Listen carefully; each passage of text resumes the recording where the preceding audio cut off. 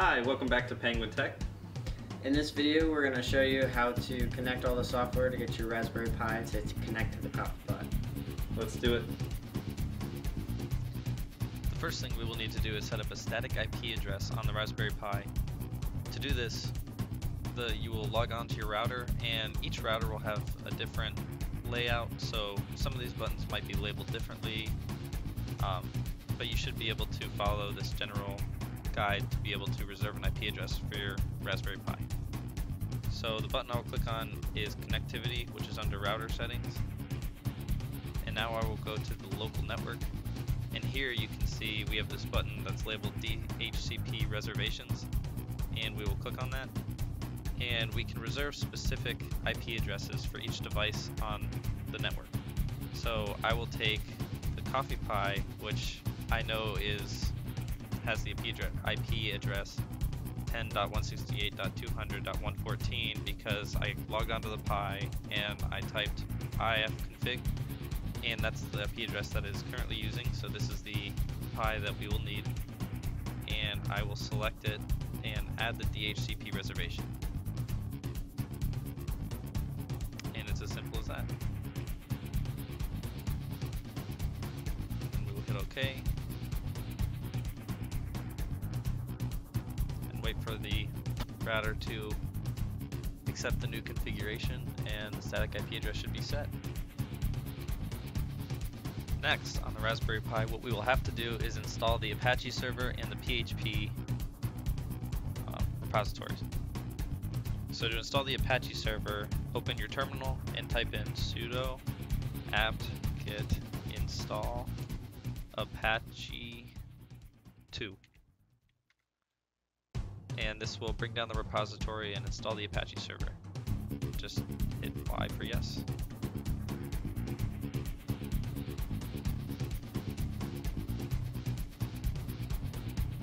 Now that we have the Apache server installed, we will install the PHP. So to do this, you will type in sudo apt get install PHP 5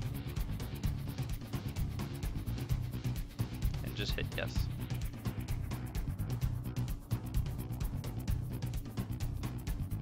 And once that downloads, that is all you will need to install on your Raspberry Pi to be able to create the Raspberry Pi controlled coffee pot.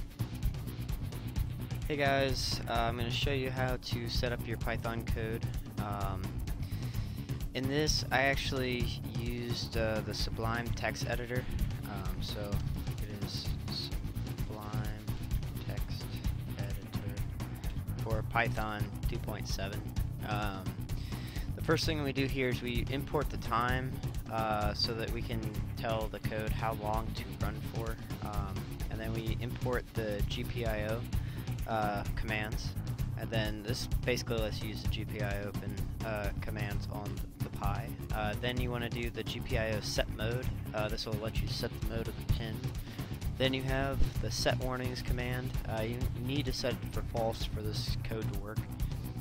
Then ideally we want to select pin 17, which is actually the hardware pin number 11 on the Raspberry Pi. So I don't know why they set it up that way. That's just how it's set up on the Pi. The GPIO pin 17 corresponds to pin 11 on the Pi. Now, we need to do the GPIO setup. Uh, we're going to tell that pin to do an output. That's what this uh, command is doing here. And then the GPIO output, um, we're going to set it to high. So that basically means that 5 volts is going to come out of this pin uh, for the signal for our relay. Now the next step is uh, we have print turn copy on. Um, basically what this is saying is, a print this in the command line when you're running through it. And then we have the time sleep is 600. I'm going to go ahead and uncomment that. Uh, as you can see underneath it, I have time sleep 10. What that what I did there was I set um, I set that as my uh, testing time is 10 seconds. So now we have a time sleep of 600, uh, we have print coffee off, and then the GPIO output uh, pin, which is our variable up here, pin 17, you want to turn that down to low. This basically just turn that pin off. And then you want to run the GPIO cleanup, which resets all the pins to their original uh, setup. So that's how to do the coffee on uh, code. So also what you want to do is you want to go ahead and save this. Call the save function here. And you're going to go ahead and save it on the desktop or wherever you can easily find it. And then we're going to use this code to run our on. Hey guys, we're doing the coffee off file now. Um, we're still using the Sublime text editor for the Python code. Uh, what you're going to do is import the RPI GPIO as GPIO. This allows you to use GPIO as the main uh, selector for the commands. Then you're going to get the GPIO set mode of this, and this allow you to set the mode of the pin. Uh, you're going to set the warnings to false just like we did before. Select pin 17 just like we did before and then you're going to select the setup uh, GPIO out and you want to print coffee off uh, for this and this will allow us to this code right here the GPIO output GPIO pin low um, allows us to turn that GPIO 17 position to off and this code is uh, generally just for just in case like you're making coffee you don't have any water in the coffee pot or if uh, you just want to turn the coffee off now uh, this is what this code is for.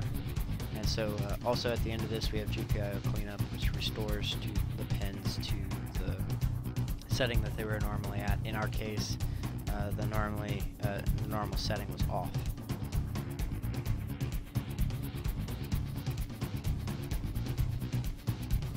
Now I will show you how to create the PHP scripts to call the Python scripts to manipulate the GPIO pins. To do this first, we will have to move all these files to the appropriate directory with from the Apache server. So to do this, I had to use the chmod command from the terminal to change the properties of these folders so I can add folders and edit files in them. So the folders we will be using is var, www, and then here I created coffee, and inside there is all of our scripts. And with the Apache server, whenever you put your IP address in the browser, it will take you to in, inside this www folder. So then you can see everything that you'll have in this folder.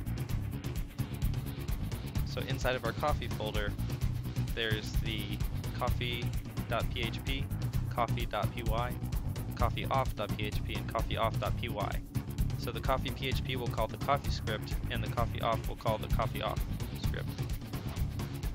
And the reason we used PHP and Python scripts is because we need something to call upon the Python file because when we call the file on the Apache server, it will open the file. It won't run what is on the file, but PHP file can run this coffee script.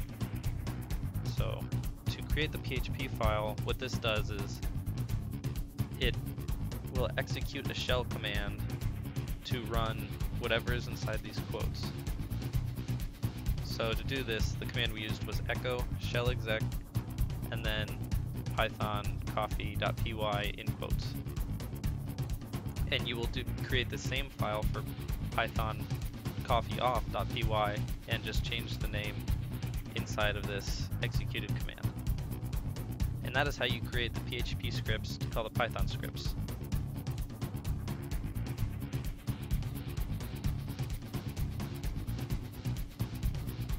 Guys, uh, I'm back again and I'm here to show you how to change your GPIO pins so that you can access them remotely. So the first thing we're going to do is we're going to open a terminal and in the terminal uh, you, are going to want to create a file. So to do this we're going to do sudo, sorry,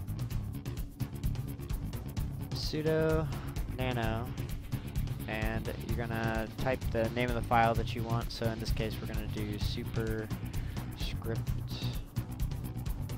3 and we're going to select enter. So this will take us to uh, this script inside of the terminal.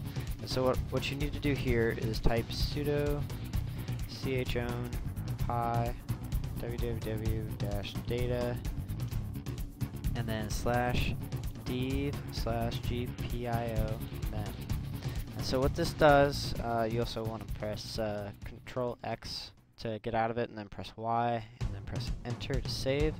And so what this does is it allows you to include the GPIO commands as part of the Pi membership on startup of the Pi. That way you can automatically just connect the app to the Pi and you can just, when, when you press the on button on the app, the Pi pin will work and the relay will work and the, pi, the coffee will turn on.